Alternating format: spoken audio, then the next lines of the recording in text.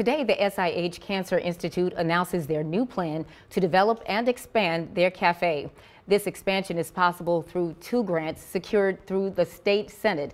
The new cafe will feature clinical dietitians. They will host workshops on preparing nutritional meals for patients and their families.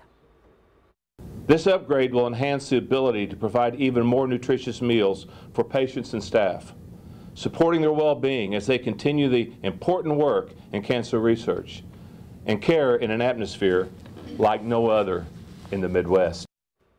The cafe will begin construction soon and expects to open in the spring.